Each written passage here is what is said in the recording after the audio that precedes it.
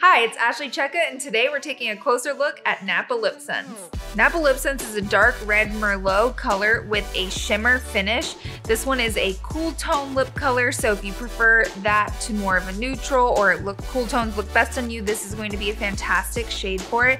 It is a little bit deeper of a berry tone shade, uh, which some people think is more of like a going out at night color or for the fall.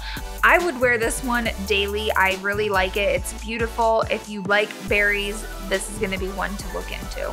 For more details and information on Napa LipSense, be sure to check out ashleycejka.com.